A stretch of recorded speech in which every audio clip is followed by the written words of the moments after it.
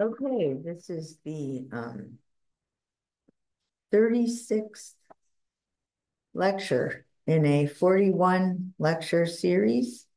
I'm sort of coming to the end um about creating an international sustainable civilization.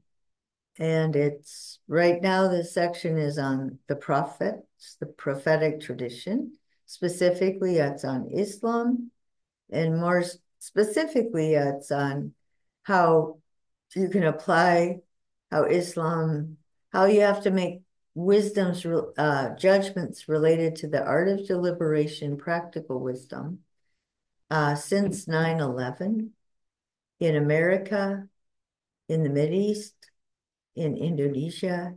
And this particular lecture is about Indonesia specifically and it's mostly excerpts from the Jakarta Post while I was there. So again, it's just a tiny uh, fraction, a little piece of reality, but it each one of those pieces is part of a much broader pattern and tradition. And so I think these broader patterns are what give us hope. And there's a lot of reason for hope. And there's also the fact that if we don't keep working, things will definitely get worse because um, it's easy to give in to fear or self indulgence for pleasure. It's difficult to stand back and to tr truly try to love wisdom and to make the best decision. But if you do that, then once the decision is made and you start experiencing the consequences, you can either learn from your mistake or learn from your successes. And you can develop a history of educating yourself. If you don't do that, life is just one thing after another. It's chaos. And you will more and more want to act by default, you will act on impulse and on fear, on pleasure and fear, because there's nothing left. You hadn't developed your mind enough, well enough to sit back and really have a history of thoughtful, of living an examined life and having friends that do that and having a nation that does that and having a world that does that, that you can fall back on as a model when you come to the next decision. If you have no history to fall back on, how are you going to really be able to deliberate well? Um, so here is number 37. Okay, so the first part are articles from the Jakarta Post. So I was in um, I used to, I think this was, yeah, all right. Anyway, 2012. And then what I remember is when I was in Jogja, which most of the time I was in Bandung. I guess I didn't read the Jakarta Post. When I was in Indonesia, yeah, Jogja, I could walk to the shopping mall, which I don't particularly like shopping malls, but they had a Starbucks and they had a Jakarta Post, and I could sit and drink my Starbucks and read my Jakarta Post. And I still, you know, like newspapers. Now I can read it online.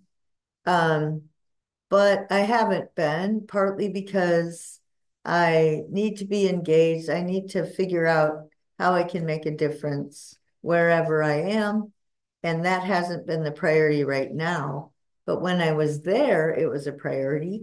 And also, these articles reflect overall trends, which are important to understand. So it's not always the immediate editorials that are the most important.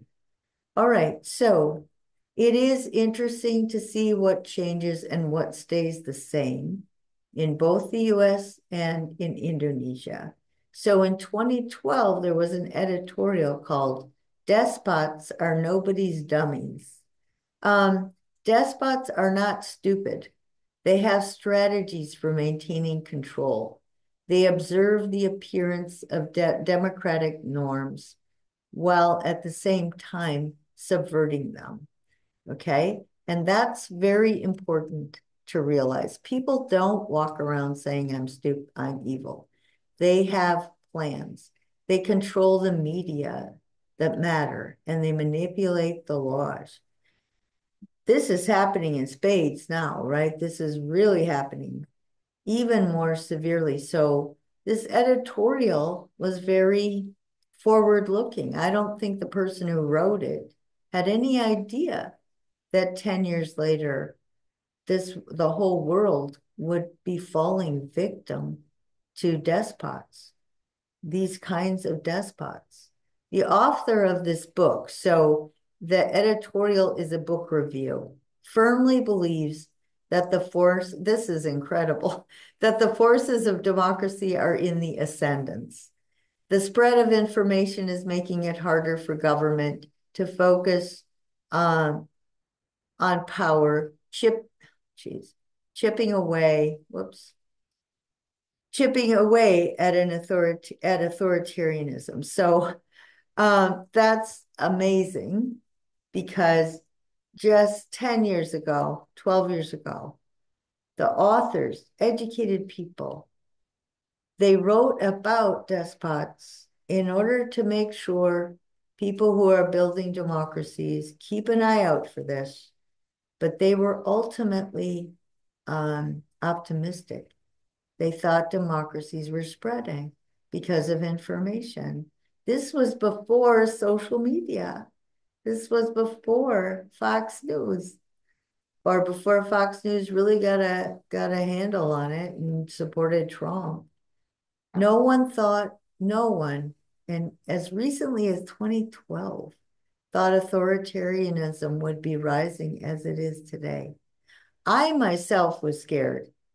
And I told my kids I was so scared.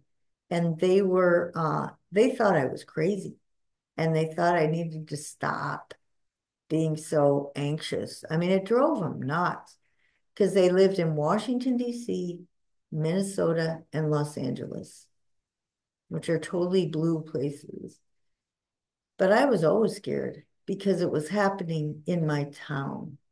Um, but no one thought the United, the leader of the United States would be a leader, uh, would be authoritarian right? Um, would be a leader in this rise of authoritarianism.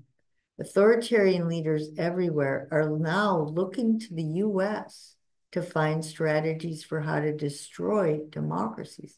Exactly the opposite of after World War II. People, we, Britain and Europe had passed the torch of democracy over to the US.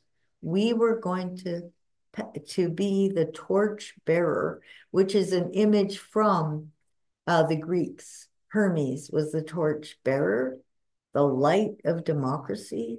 When he got that flame from Hestia back at the hearth. okay. So we were going to be the torch bearer.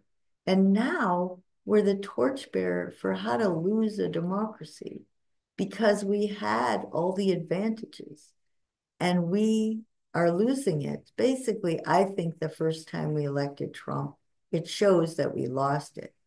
The fact that it's even going to be a close election shows that we even lost it more than I had thought. And if we actually elect Trump, we will lose it even more. I don't, I really don't know.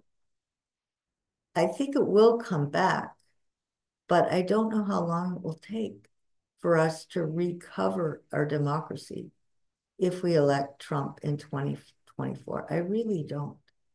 Because I the way people vote, why they vote, they don't think. It's it's very impulsive. It's very immediate, driven by, as far as I can tell, fantasies and phobias.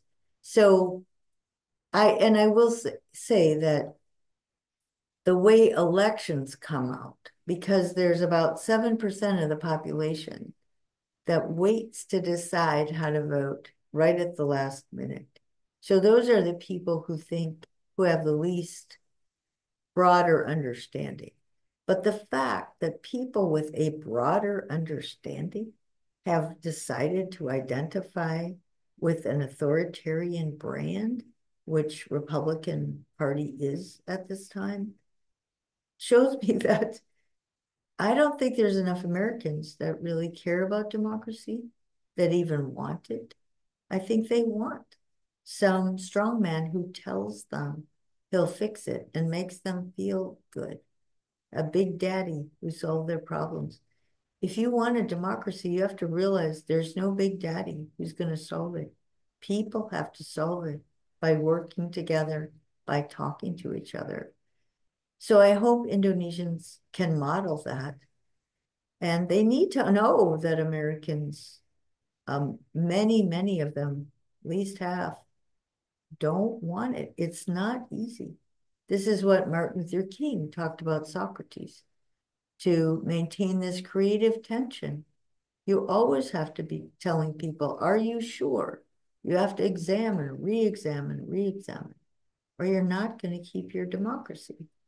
Um, so I'm trying to reach out to others who might be able to learn how to preserve a democracy. And some of those people are at the UN schools in Indonesia. Losing and saving democracy today, 2024. Okay, all right, so no one ever thought this.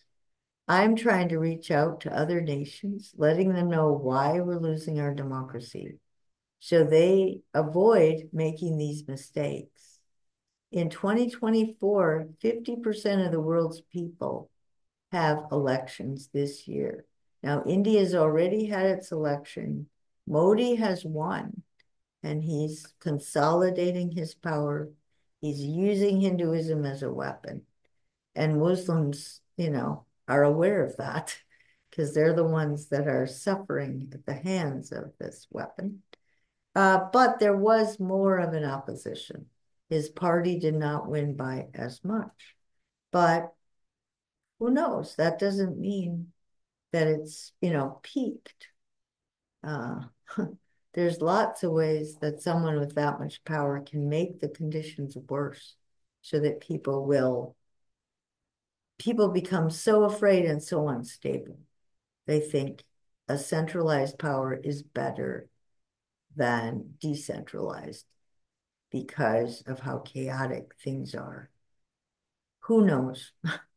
the Fulbright program, that's how I first got into Indonesia. It asks everyone applying to show that they will be cultural ambassadors. This came from the time right after World War II, when we represented the beacon of democracy to the world. We were ambassadors from our democracy to developing democracies. In my application, however, now I call myself a cultural collaborator because I both teach and I learn from others how to lose and how to save democracy. My nation has the same problems as many other nations, maybe all other nations at this point. Okay, here's the editorial from 2012. It was Pancasila Day. Indonesia has traveled a long way as an independent nation, and for much of that journey, Pancasila has been the track that's kept all the carriages heading in the right direction. This did not happen by chance, but through consistent application and affirmation of the principles that define the state ideology. Under Pancasila, no religion or ethnic group is held above the other. Unfortunately, they say, since the reform era, Pancasila has taken a back seat, allowing radical and extremist groups to come to the fore. If left unchecked, these groups will erode our nationalism and our harmony. All right. Well, you know, it's controversial. How did Mr. Sukarno apply Pancasila? Right? When he he then at a certain point decided we have to stop elections for a while. Then there's Mr. Suharto, who hid behind Pancasila and was very authoritarian in uh, some ways. Um, he did other things like give money to the UN schools to um, teach Western thought. I mean, I wait, maybe it wasn't him that did that. He did some pretty enlightened things. I'd like to grant him something, but he really used Pancasila to engage in a lot of more authoritarian behaviors. Um, but that's up to Indonesians to decide, right? They know that each president had an agenda and used Pancasila to further their agenda. Some of them were much more faithful to the spirit of Pancasila than others. And then this journal article uh, tells the story in this particular way. It is thus critical that the government, as well as social and religious groups, reaffirm Pancasila as a national ideology. And so you can talk to each other about President um, starts with why, uh, what he did with Pancasila and why it was, you know, that so many of his workers or his close people who he gave power to were uh, accused of corruption and arrested. Is that connected to Pancasila? Did he hide behind Pancasila when he did whatever these illegal activities were? Did he truly undermine? I mean, you know, you know that. I don't know. Um, was it the problem that people get discouraged and they just say all the governments all they're all corrupt and that happens in our country they're not all equally corrupt and you should make sure you don't think that and you don't let your students think that because if you do the most severe manipulative rhetoric will lead to people voting for the people who use it and even a more extreme anti-democratic leader. So they are not all the same. You have to cut through the rhetoric, find out what's the history behind the people who support this candidate or the party? What's the history behind the party that supports this candidate? Who is this person going to appoint to exercise power? What's their history? What's their party history? Everyone who still elects their leaders needs to know that. They need to be informed and they need to inform each other. They need to talk to each other because there's lots of things that I don't know, but I do know a lot. And that's because I've been studying and reading and all that. But that doesn't mean somebody doesn't know something I really need to know. I just read a book where I found out something I didn't know that I really needed to know to put the pieces in place. Um, so that's why Socrates says every day we have to get up and examine our lives and ask what is justice? What is truth? What is beauty? Because it changes and because we never know.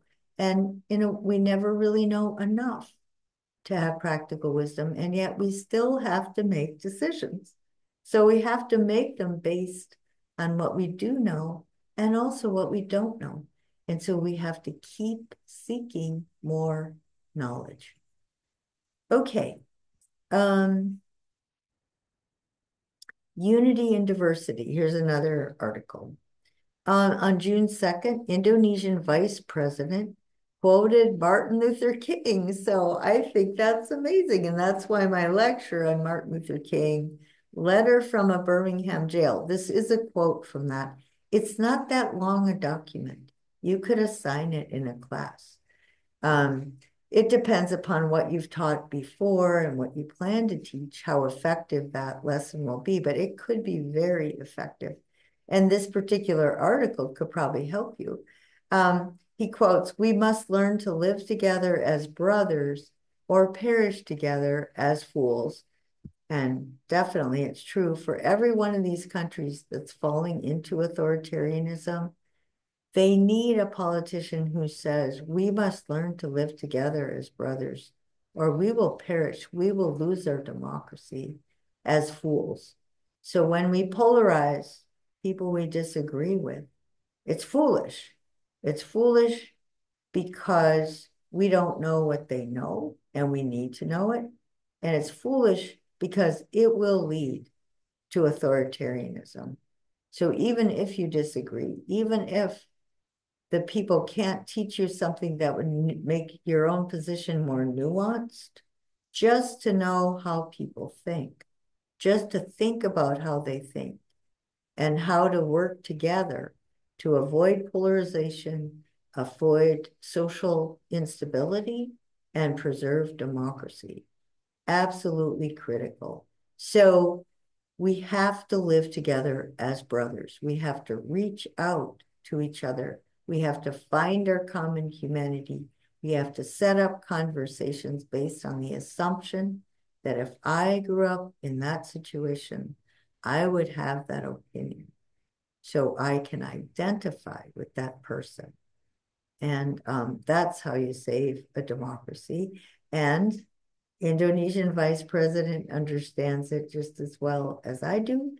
Um, again, you can say, well, he talks a good talk, but his political party, did they live up to their ideals?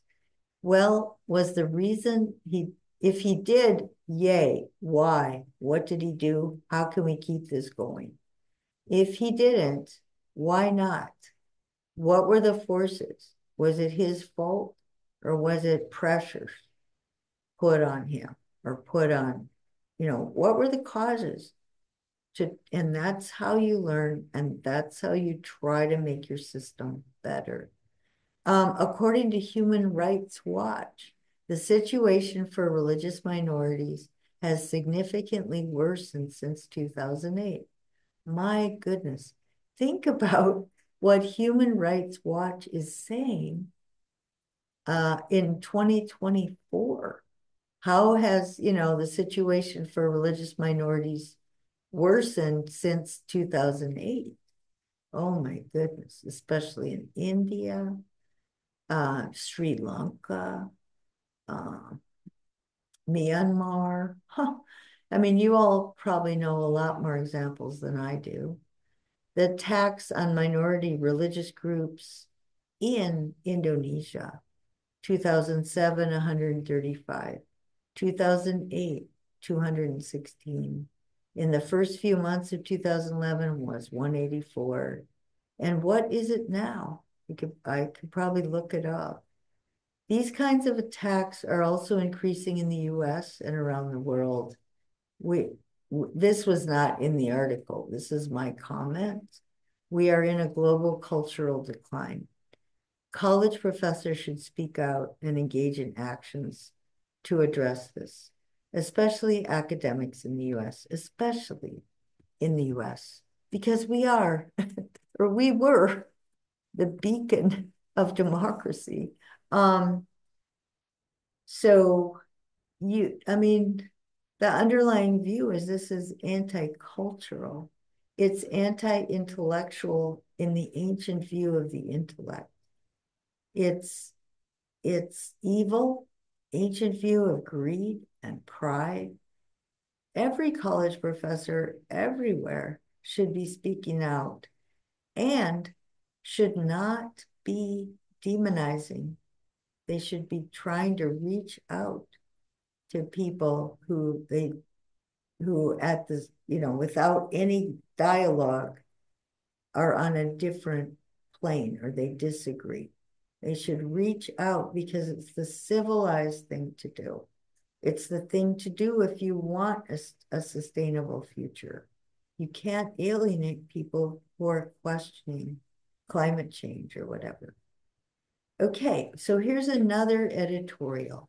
And this is important because I'm sure there are there are prominent intellectuals in Indonesia who self-identify as secular or some other than the official state religions. And they're alienated.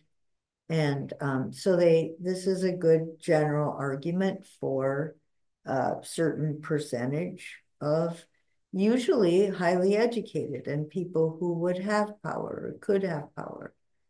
Indonesia can never be a model of democracy in the sense that all citizens are equal before the law and have the right to express themselves, because the philosophy upon which the nation is founded puts the belief in God as the first of its five principles.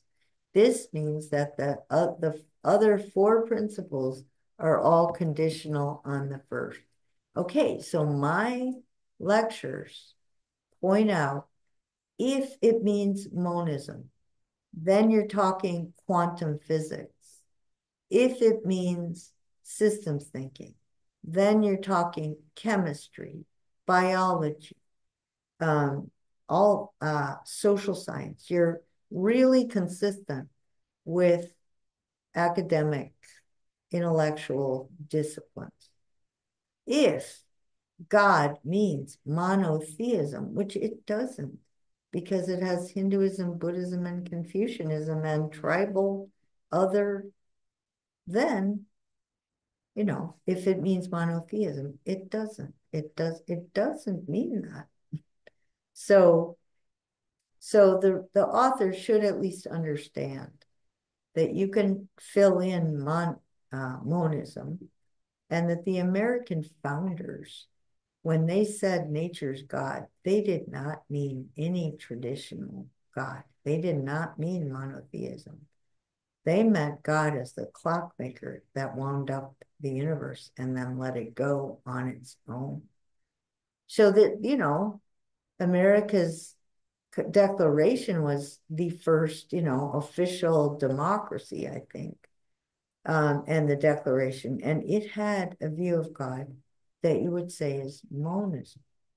Um, Newton's God is not consistent with current quantum physics monism, but they definitely thought of a God that doesn't intervene in people's lives, does not intervene and you know have natural miracles changing the natural order does not is not a god you pray to is not a god right so i when you have an extreme position like that if my belief deviates from the standard i'm open to persecution if i decide to be jewish pagan agnostic animistic polytheistic or just simply don't believe in wasting my time on pondering the existence of a supernatural being, I don't have a place in this country. All right. So you have to understand the author's position.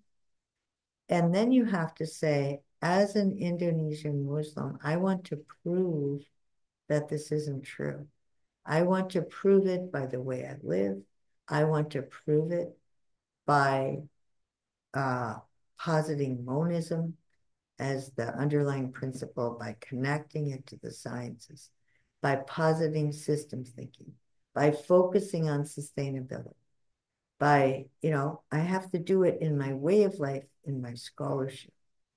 Um, and if I do that, and if Indonesian Muslims prove that this person, they give them equal rights. They don't persecute them. This is what Mr. Marif is very insistent that Muhammad said, you tolerate atheists. So Muhammad would want to tolerate. He did Jews, right? Um, pagans, agnostics, animists, polytheists, people who, you know, are atheists. Marif says, Muhammad says, tolerate the, the trouble is if, if you do have a group of educated Indonesians that decide basically changing the, the country is necessary, you'll have instability, civil war, and probably a more authoritarian government. So I this is where Aristotle says it's better not to change the laws too much or too radically, but so I would say you don't have to have that kind of a revolution, but you definitely do have to have this clarity about monism is not monotheism. And you have to have follow up where you do not persecute people who are not, you don't have a litmus test for what Pancasila, what religious pluralism is.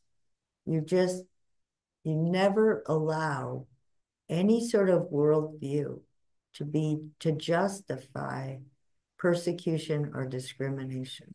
That should be a major premise of people who try to implement, apply Pancasila to political life.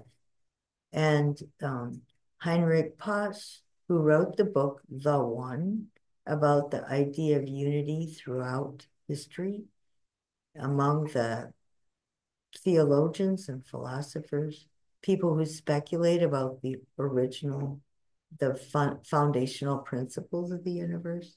He said, you know, you have to be careful. You have to realize that this does not mean authoritarianism, but this actually does mean pluralism. Monism, the only consistent political system consistent with monism, is pluralism, toleration, and humanism, spiritual humanism. That message has got to get out. And of course, Indonesia is going to struggle with that for its whole, you know, history.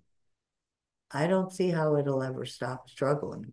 It's just that the balance will tilt toward moderation and tolerance or toward intolerance and extremism and, you know, authoritarianism or democracy. We thought our country would not, that that would not happen to us. And it has happened to us. So I think the rest of American history is going to be much more of a the tilting of a need to constantly remind ourselves what do we really want? Right now, we really have fantasies about what authoritarianism would actually be like. Maybe we have to learn our lesson. I don't know. Maybe we'll learn our lesson for, for another 70 years or something we will not fall into that again, right? We voted for Trump a second time. We had authoritarianism. People went, oh my God, I don't want that. And then it takes how many years, 30 years or whatever to get rid of it. And then people remember for another 70 years and then they'll forget. I don't know why we can't learn from history, but we should learn from history. Historians should keep bludgeoning us by reminding us of this. You have to be an engaged citizen to preserve a free society. Do not ever forget that and do not let up um, on the activity. Okay, so this is a continuation of this editorial. Our foundation is inherently flawed and discriminatory. It influences the way we educate our children. Okay? Education is critical. That's what Mr. Murray said. They're taught dogmas of their parents' religion. Mr. Murray wants the kids in the Pesantrens, the kids in the Muhammadiyah schools, and the NU schools to, if the kids are taught dogmas and intolerance, they have to get cured of it. They have to be taught that Islam is humanistic and tolerant. They're taught to think in terms of difference rather than similarities. It takes away the spirit of universal humanity in the capacity for critical thinking and asking questions that will enable them to find answers to our common human problems. Well, okay, is that the fault of Pancasila? Pancasila itself doesn't do that. It's the fault of parents who actually are educating their children in a way that undermines Pancasila. The same thing happens in my country that the conservatives, in the name of our founding fathers, in the name of patriotism, they're teaching their children dogmas. They're um, to, they're thought to think in terms of difference. They take away the spirit of universal. Unbelievable. Like it's exactly the same um, in in huge percentage of Americans. It's hard for me to tell exactly because the town that I have lived in, 80% of my students from within uh, 400 miles are taught things that are just false. And they, and you know, the way they're taught to think about liberals, progressives, or pluralists or humanists, it's just not at all uh, consistent with our founders. And so in this editorial, um, it would be nice if the writer had said, most, I mean, does she know this? I don't know. Is it a, just a stereotype? You could say, I'm afraid that the majority of parents in our country teach their children exactly the opposite of Pancasila. I mean, it would be nice for her to say they teach the opposite of Pancasila because then, okay, so the solution is to get rid of Pancasila. You know, it would take a little bit more of an argument if she would just point out that this is not Pancasila. She's giving you the impression that it is. Okay. She says it makes it difficult for the growth of new ideas, different ways of thinking, knowledge, scientific innovation, and philosophical inquiry. This is exactly what Thomas um, Tom Friedman was saying, right? He says it's good that American students are given a book about the Quran. This is what makes us great. Well, there's nothing in Pancasila that, I mean, I know that Indonesians at the UN schools are teaching Western thought and are teaching world religions. So, you know, is it really that important to get rid of Pancasila, or is it really the thing to do is to really have a curriculum where college educated Indonesians, Indonesian Muslims know, you know, they are pluralistic and they are humanistic. And then all the students in the Pesantren, I don't know what percentage of Muslim Muslims in Indonesia, their children go to Pesantren, but if you have a curriculum that's moderate, like Mr. Uh, Maarif wants, tolerate atheists, equality for women, uh, religious pluralism, humanism. Um, so if all the kids in the Pesantren are not, and all the kids in the secular schools are, I mean, is that really the problem to get rid of Pancasila? Or is it really just to hold people accountable to actually be radical conservatives. It's the same with us in the US. Is the problem that we use the word freedom and it means allowing billionaires to control our country? Should we change our declaration? Or should we just make good on it that our founders cared about a middle class? They knew if you don't have a middle class, you don't have democracy our founders were really afraid of greed and af afraid of the centralization of wealth, which should have been intuitively obvious, but because they had read Aristotle, Aristotle confirmed that. Ancient wisdom confirms their modern intuition, but they did not think. They thought science and social science, you could engineer the human psyche so that that would not be a problem. Some of them, intellectuals, thought that.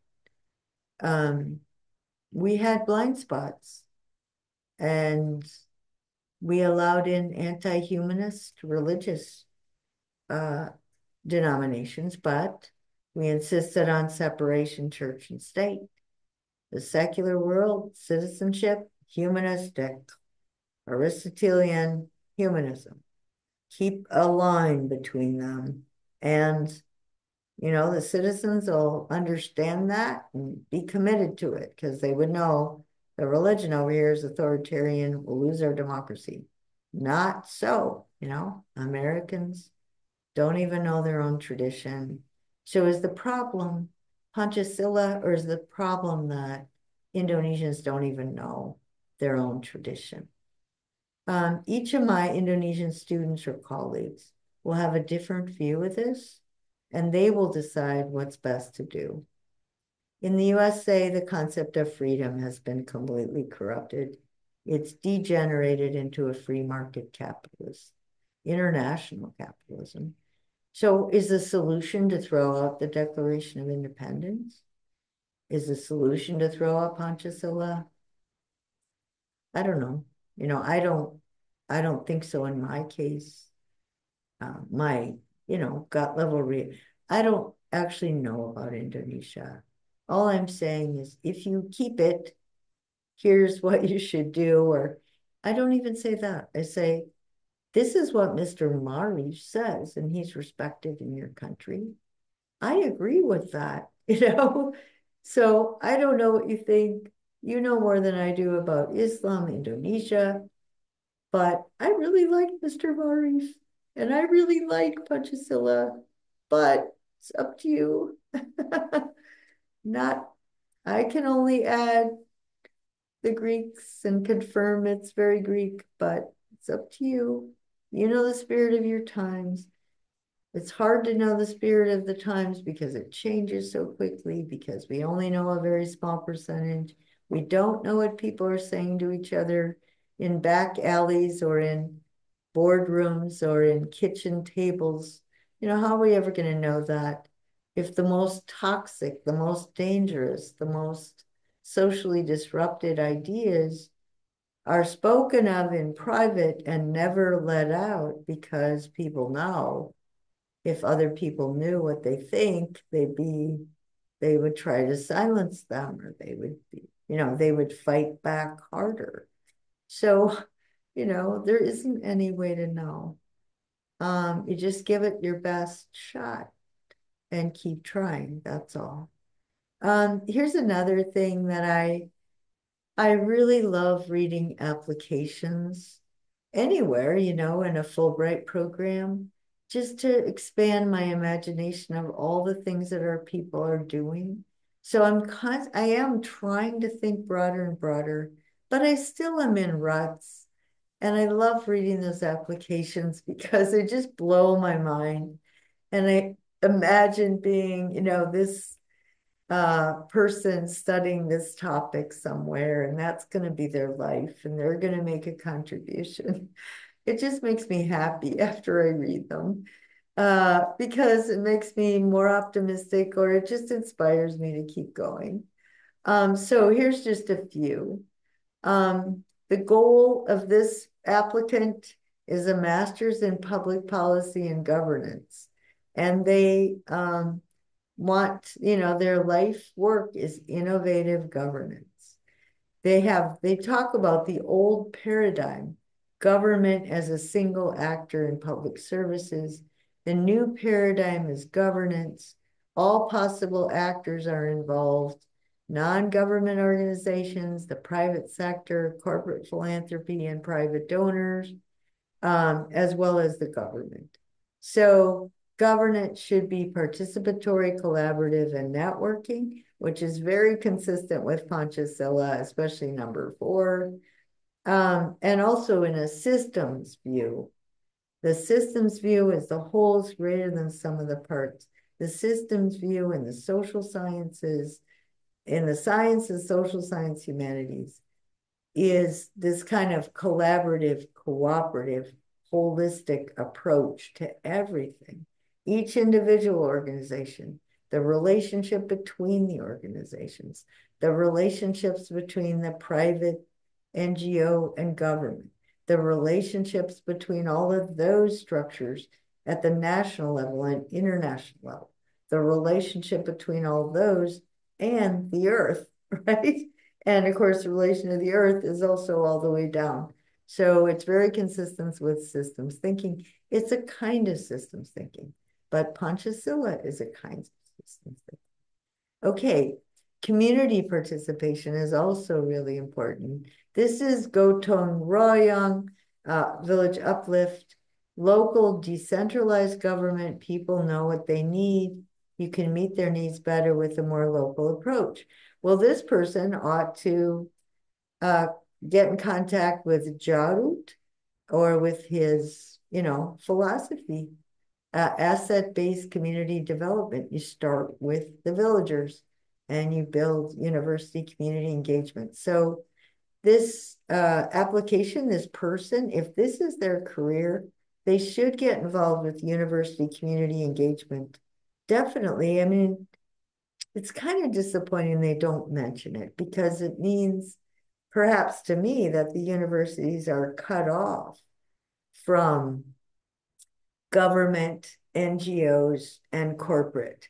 The university should be mentioned as one, you know, set of one institution, one layer that's very much a part of all this stuff. Like what happened to the universities? What happened to the education? Uh, it's it's uh, not good. That's where I come in. Um, the student, here's another one. Their goal is to clean up corruption in Indonesian government. So I did have that whole lecture. I think it's it's lecture number four or five. One of them is on Aristotle and corruption. I think it's number four. The other one is on Aristotle and terrorism, but he wants to be a worker at the Secretariat General, the People's Con Consultative Assembly of Indonesia. Um, the president wants to clean up corruption in government collusion, nepotism. This is again the president starting with the letter Y. Um, his goal is to get an MA in public policy studies, which in, it's interdisciplinary. Again, systems thinking, moving toward a systems paradigm, and that it is integrated with sustainable development. It includes economic, sociology, anthropology, politics and case studies. So, yeah, I mean, it was the modern Enlightenment that divided all these disciplines into separate parts and with economics driving things. And it's the modern systems view that integrates all of these. And economics is a part of the broader culture. It doesn't get to drive culture. The US, and the irony is the US they want to study in the US because it has the best education and facilities and opportunities for an internship. So the US does have the most public policy um, undergraduate and graduate degree programs. It also has a huge percentage of citizens that haven't even heard the two words public policy put together. They have a huge percentage that hate government which means they have no interest in public policy. Because public policy is a discipline, because people take seriously that the government has to be involved if you're going to have a flourishing society, and especially if you're going to have a middle class, which is a necessary precondition for a flourishing society. That has to be the context. So public policy as a discipline only exists because people think government is important. The majority of Americans hate government. They assume that the economic system is okay, that people can just be individuals, keep the government out of their life, work toward economic prosperity, and the consequences of that will trickle down to other people and if people just work harder, they'll become more prosperous and everybody will be happy. This is totally false. And that's why they, my students, 80% plus have never even heard those two words put together, public policy. When I was growing up, that's pretty much all we talked about at the dinner table. The civil rights movement, the anti-war movement, and that was about public policy, you know. Um, so this student, when he goes back home to Indonesia, he wants bureaucracy reform. He wants to change the mindset and the culture set. Very good. That um, better, he wants better organization, changing the pension and remuneration system, law enforcement, accountability and transparency in government, better policies and regulations. So it is important that the, the author understands you can't take care of these each little detail. You can't deal with law enforcement unless you look at it in this broader context. Why do we have this crime in the first place? How do we set up people so that they're desperate enough so that they commit crimes? Or how, why do we have people um, thinking, expecting that if one of their relatives gets a good job, that they're expected to give the family, you know, siphon off the money for their family. Where do we get this? Uh, so you have to change the mindset and change the cultural set, all the norms, you know, expectations, the kind of social networks people get into, their understanding of family systems. It all has to be ruled for this benefit of the ruled. They have to change the different idea of justice, but back to a very fundamental idea of justice um, and culture in general is teaching people to take pleasure in generosity, self-control, creating a middle class, working together, having a higher quality of life. Um, so, so um, I think this student would very much like the main themes that I'm discussing in this class. Once again, there isn't any sort of standard course that everybody takes that can be kind of foundational. The foundation under which the student has come up with these ideas. And you don't know if they just came up with that totally on their own by putting together the things they were exposed to, or if they have some teacher somewhere who sees the big picture and is kind of mentoring them in this proposal. Hard to know. This one wants a master's of law to focus on anti-corruption law. So the previous one was to focus on corruption in government and to focus on changing mindsets and culture sets. This one is more specifically focused on the legal um, system, the U.S. Foreign Corrupt Corruption Practices Act, better oversight of that, the way, you know, having lawyers that actually look at the laws and apply the laws, prepare for the first ever consolidated and holistic national strategy for the prevention and eradication of corruption. Very good. Did this come through? You know, did the president? I mean, was this after the president's appointees sort of are sent to jail? Probably after they get, you know, accused of crimes. All of a sudden, okay, we need this um, uh, strategy. The United Nations Convention Against Corruption can be a model for Indonesia. We need a lot of change to conform to the standards. So there is a history of uh, looking to the United Nations conventions. So this would follow the UN Sustainability Development Goals. Indonesia, as their history, is to look to those goals, to support those goals, to work at changing things in their own country to, to conform to those goals.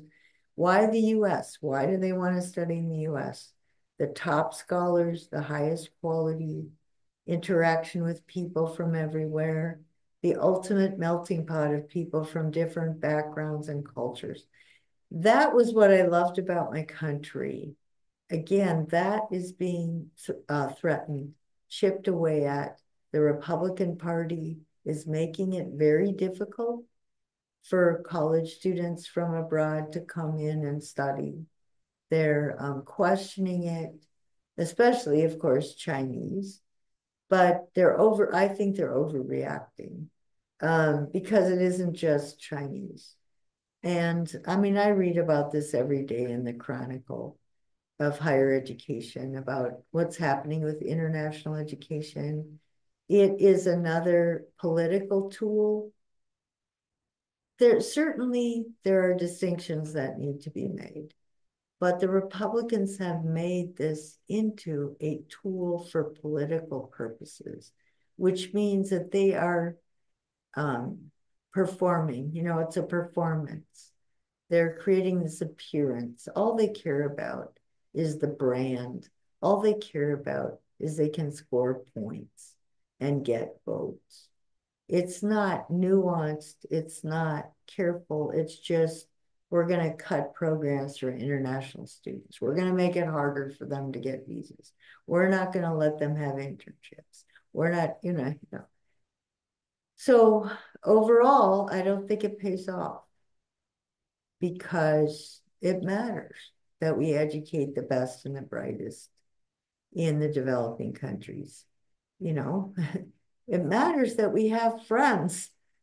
We cannot keep bossing people around saying our way, my way or the highway, which was true right after 9-11 when um, Rumsfeld went into the into Europe and into these countries, said you're with us or you're against us. There's the democracies, and then yeah, this is what Rumsfeld said. There, it's obvious that we're the best, and these other people are rotten. Well, now the Republican Party is saying the authoritarians, Trump honors the very people that Mr. Rumsfeld demonized. And, you know, within 24 years, a quarter of a century, that political party has completely turned upside down. So this is a lesson for Indonesians, you know, be careful, work at this all the time. It doesn't take much to turn everything upside down pretty quickly. Um, you would do it in the name of Pancasila. We do it in the name of, of freedom and democracy and rights. So be careful. Um, all right, so another one wants a master's in international affairs, international development, Indonesia's agreement on climate change to get Indonesia compliant and able to reduce emissions and be sustainable. Again, the US has more programs, I think, in sustainability, sustainable development, uh, environmental science, and we have the more the most deniers, and the Republican Party is cutting funding to universities, and especially funding to those sorts of programs the researchers are expected to go find funding from corporations or from the military. These are not, those organizations are not funding sustainable development at the moment. I, it might change very rapidly when we realize that our own security depends upon sustainability. Uh, climate change is undermining security it's undermining. And then it's also undermining our capacity to compete against the Chinese economically. But at the moment, we are still stuck, except that there's plenty of programs, there's plenty of teachers. And so that's what people, Indonesians or people from developing countries, they just look up the program. Hey, that's what I want. That's what my country wants. I want to come to the US that probably after they get to the US, geez, Americans don't even want this. That's incredible, you know, but I'll learn it. I'll go home and I'll give it to my people.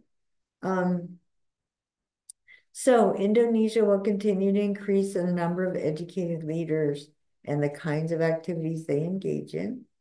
Indonesia will become more interconnected with the rest of the world, economically and politically.